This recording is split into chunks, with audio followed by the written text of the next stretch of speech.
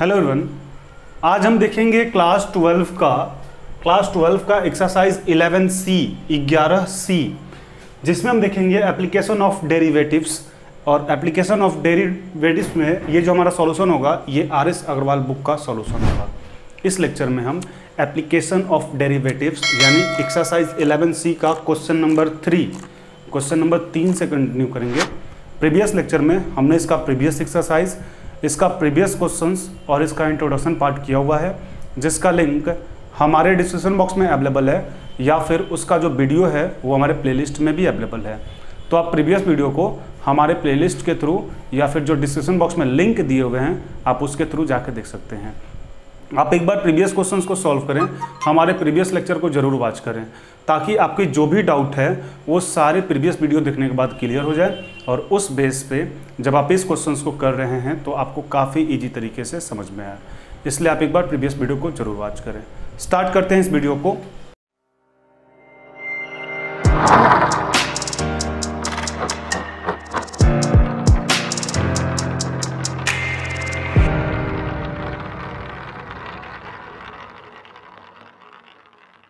Eleven C का जो question number three है आप पहले क्वेश्चंस को देखिए, कह क्या रहा है? क्वेश्चंस की लैंग्वेज को समझिए। क्वेश्चन आपसे बोला जा रहा है verify Rolle's theorem Rolle's theorem for each of the following functions इस फ़ंक्शंस पे आपको क्या करना है? रॉल्स थ्योरम को आपको वेरीफाई करना है। सिंपल बात है। और प्रीवियस में वन और टू जो क्वेश्चन है, उस पर भी हमने वही किया था। कि रॉल्स थ्योरम को क्या करना है? वेरीफाई करना है। वेरीफाई करने से पहले आपको तीन कंडीशंस होते हैं, जो तीनों कंडीशन का ज़िक्र जो है, हमने इंट्रोडक्शन पार्ट में किया हुआ है। आप पहले उस वीडियो को देखें, ताकि आपको ये पता चल जाए कंडीशन को कैसे डिफाइन करते हैं, आखिर कंडीशन होता क्या है। तब उसके बाद इसको देखेंगे तो आपको काफ़ी अच्छे तरीके से समझ में आएगा। वैसे हम इसमें थोड़ा सा कंडीशन बता, तीनों कंडीशन अप्लाई करेंगे तो आपको समझ में भी आना चाहिए। तो आप देखें, पहले सॉल्यूशन में क्या करेंगे? सॉल्यूशन में लिखेंगे गिवन फ़ंक्शन एफ़ एक्स, जो आपके पास फ़ंक्शन है एफ़ एक्स, वो क्या है? X square minus five X plus six in two three. ठीक है? क्लोज इंटरवल के साथ टू थ्री। यही है ना आपके पास क्वेश्चन फ़ंक्शन। अब यहाँ पे लिखेंगे क्या? कि आपको पता है F X is a polynomial, is a polynomial यहाँ पे नंबर फ़र्स्ट लिख देते हैं क्योंकि तीन क्राइटेरिया होता है ना तो first criteria F is a polynomial function function which is continuous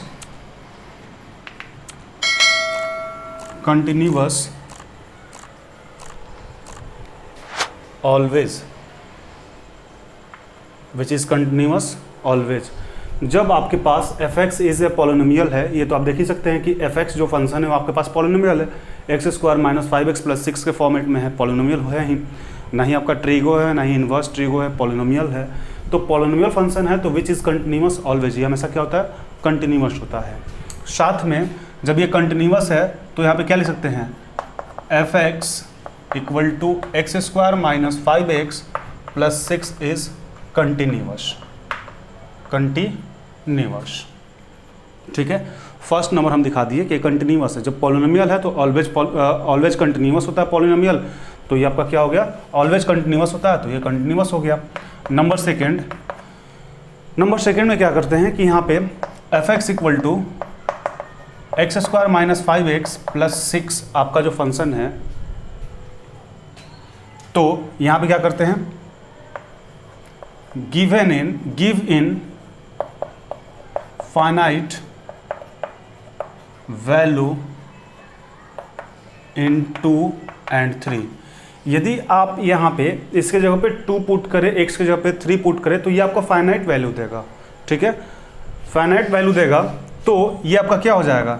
यहाँ पे आप देखें कि F dash X equal F dash X exist यानी कि एफ़ डैश एग्जिस्ट यहाँ पे एफ़ एक्स इक्वल टू जब इसका आप निकालेंगे F dash X equal to यानी D Y by D X तो वो आपका क्या हो जाएगा? D Y by D X जब निकालेंगे तो एक्स स्क्वायर का डिफ्रेंसिएशन एक्स के रिस्पेक्ट में क्या होता है? टू एक्स होता है। और फाइव एक्स का differentiation five common D X D X cancel यानी फाइव हो जाएगा, और किसी भी कॉन्स्टेंट का कितना होता है? ज़ीरो तो ये आपका जो क्या हो जाएगा? F dash X exist F dash X to minus two X minus five तो अब यहाँ पे क्या लिख सकते हैं? This function is this function is differentiable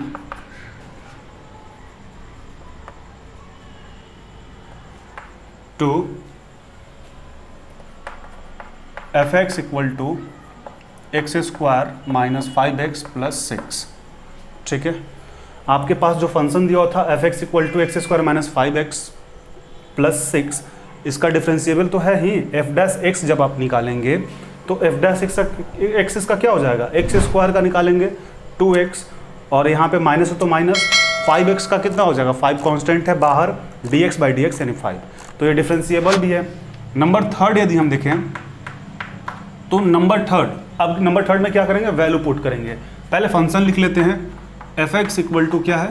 X square minus five X plus six यानी कि जब टू रखेंगे एक्स के जगह पे तो ये क्या हो जाएगा? Two square minus five into two plus six, यानी F two equal to four minus ten plus six, यानी एफ़ टू इक्वल टू क्या हो जाएगा? Ten minus ten zero. First case देखें, सेकंड देख लेते हैं। इफ़ जब थ्री रखेंगे तो क्या हो जाएगा? थ्री का square minus five into three plus six.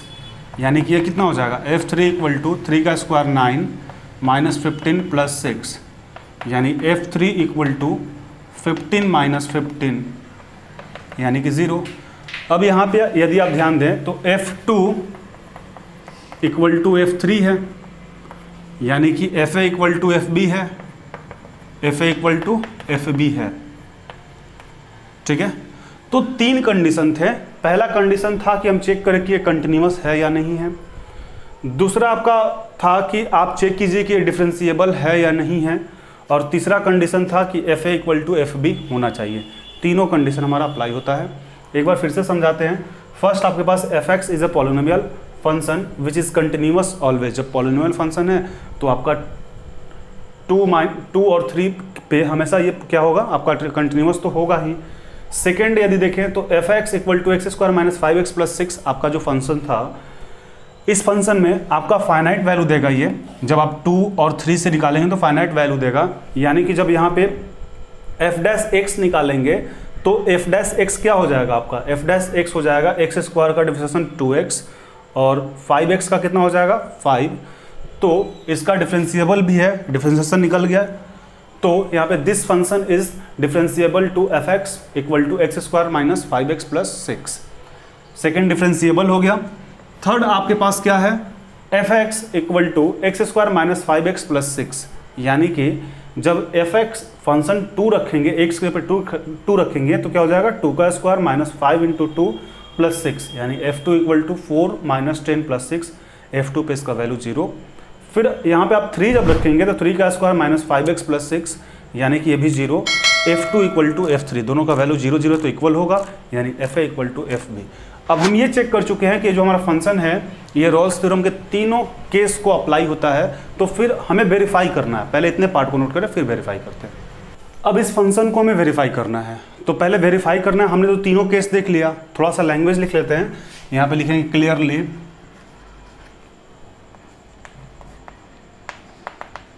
clearly all the clearly all the conditions are satisfied satisfied then the exist a real number and this is so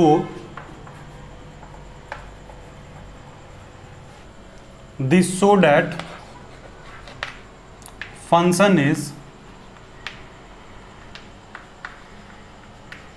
Rolle's theorem ठीक है?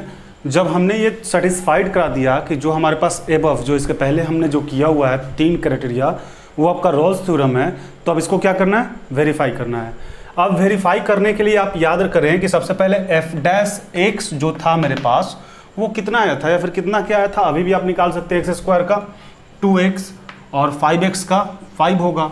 यदि यहाँ पे एक्स की जगह पे सी बोलें एफ़ डैश सी बोलें तो एफ़ डैश सी कितना हो जाएगा? टू सी माइनस फाइव हो जाएगा। ठीक है? लेट कर लेते हैं।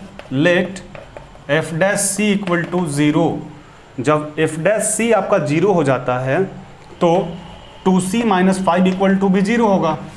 यानी कि C, two C equal to कितना हो जाएगा? Two C equal to five, यानी C equal to five by two, यानी कि C equal to five by two का मतलब? फाइव बाई टू का मतलब? हाफ़ ढाई टू पॉइंट फाइव। अब आप देखिए कि टू पॉइंट फाइव आपका कहाँ से कहाँ बिलोंग करता है।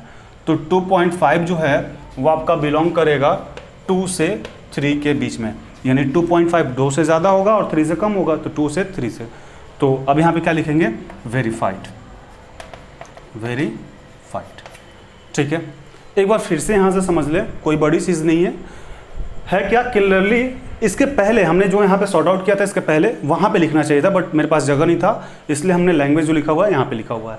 Clearly all the conditions are satisfied the exist are real numbers ठीक है? जब सारा आपका फ़ंक्शन सेटिस्फाइड करता है तो ये आपका क्या है? एग्जिस्ट कर रहा है आपका real number and this so that function is a Rolle's theorem ये आपका फ़ंक्शन क्या है? रॉल्स थ्योरम है।